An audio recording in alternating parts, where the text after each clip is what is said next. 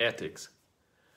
Crowdsourcing is a powerful tool, but as you know, with great power comes great responsibility.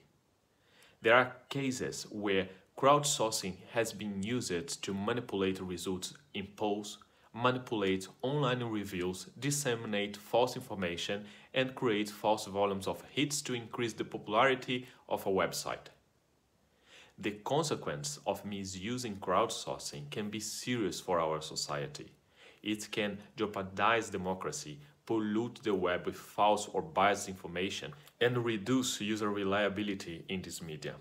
It's always advisable to contact the Ethics Committee before conducting any research that could harm our society.